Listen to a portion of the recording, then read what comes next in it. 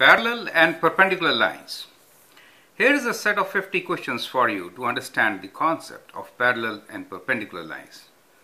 Well, let me share with you that even today I'm not very clear about parallel and perpendicular lines and there are some questions which are unanswered. I'd like you to make note of your learnings from these and also send me a list of questions which are unanswered for you. It'd be great to share these questions. I'll soon share one with you. C1 is a communication question and all those questions which start with C are communication, starting with Q are general knowledge questions and starting with A are application questions, starting with T will be thinking problems. So in this set of uh, 50 questions we have a couple of them, uh, well about 10, 12 with communication skills and then few with application and thinking and most of them are knowledge based questions. Now here's the first one, C1.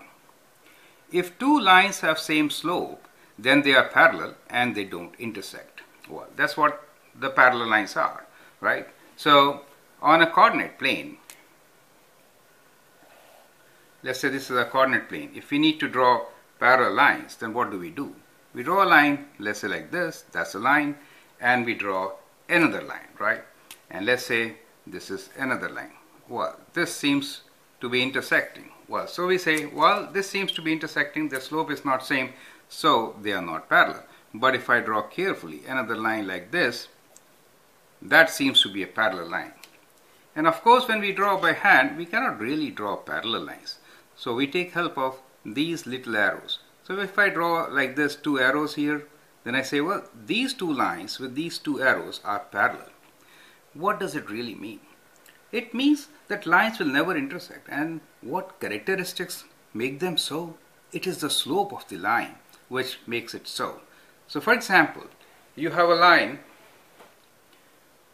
y equals to 2x minus 1 and another line saying y equals to 2x plus 1. Now these two lines are parallel. They have both same slope which is 2 and 2. But since they have different y-intercept, one minus 1, the other one plus 1, they will never intersect.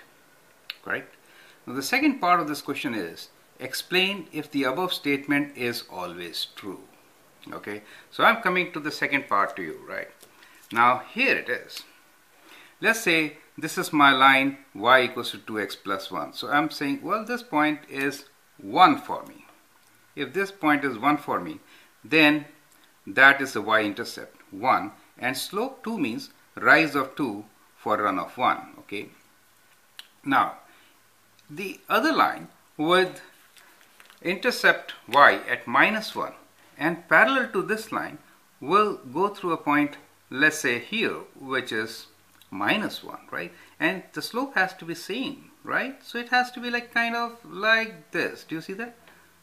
Now I can say my little two arrows like this saying that these two lines are parallel and they have same slope.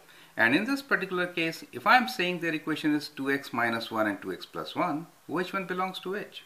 Minus 1 belongs to this one because the y-intercept is minus 1. Correct? So these are parallel lines because they have same slope. But the other thing which I find most of the students missing most of the time is the y-intercept. Strictly speaking, when we say two lines have same slope, they are parallel and they do not intersect is not quite right. How about writing the line like this? For example, if I multiply this equation by 2 and I get 2y equals to 4x plus 2, which is actually same as y equals to 2x plus 1. So these two lines become similar, right? Rather exactly same. So what happens? If you draw these two lines, then they will overlap. Right? How many points of intersection will they have? Infinite. Do you understand? They will have infinite number of points of intersection. Not we are looking for one, right? But they will have infinite because they coincide, right? They are coincidental they are same lines. They are exactly same lines and they intersect at each and every point. Correct? So, important thing here to remember and to learn is parallel lines will, in, will denote parallel lines with a symbol now. Okay, the symbol will be like this: two parallel lines. Parallel lines. Let's say there are two lines have same slope. And what should be different? Plus what? Different y-intercept. So I would like all my students to understand this definition of parallel lines. There's too much of stress on same slope during the course when people learn parallel and perpendicular lines and they forget the better half, which is different y-intercept. Remember it please. Okay. Now with this, we make a move and go to question number two and understand what perpendicular lines are. Okay.